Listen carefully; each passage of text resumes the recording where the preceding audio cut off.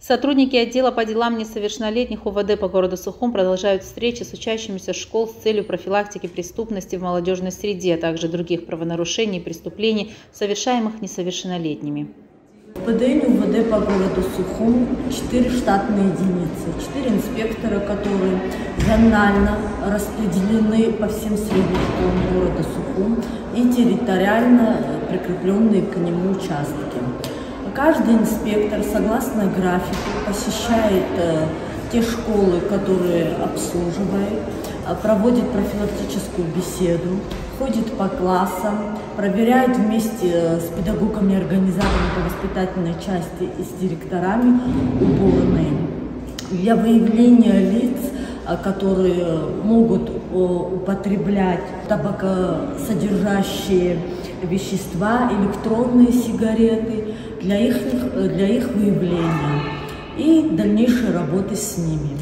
Также проводятся беседы по поводу успеваемости, посещаемости, поведения, об уставе школы и надлежащем виде ученика.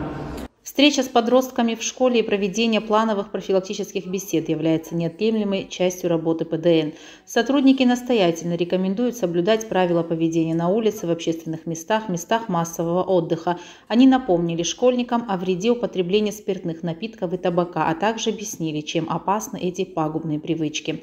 Однако в последнее время проблема курения табака, никотиносодержащих и электронных сигарет приобретает серьезные масштабы. Усугубляет ситуацию тот факт, что электронные электронные сигареты сегодня находятся в свободном доступе для школьников.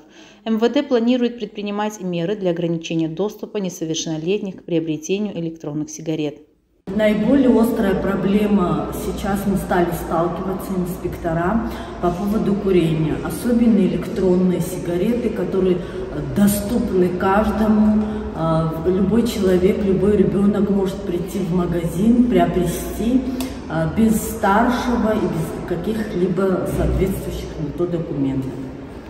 Одной из наиболее актуальных и социально значимых задач, стоящих перед нашим обществом сегодня, безусловно, является поиск путей снижения роста преступлений среди несовершеннолетних и повышения эффективности их профилактики. Если говорить о том, что несколько лет тому назад да, инспектора могли в неделю раз-два посетить школу для данной работы, сейчас мы ежедневно проводим такие мероприятия, как по классам, как посещение школы, это ежедневная работа стала.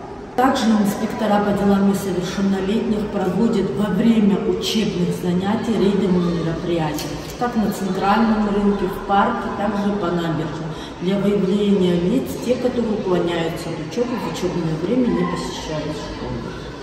Хочется надеяться, что данное мероприятие не прошло даром, и ребята запомнили основные правила поведения в школе и за ее пределами. Инспекторы ежедневно проводят работу с учащимися школ, однако сотрудники напоминают молодым людям, что их жизнь зависит только от них самих.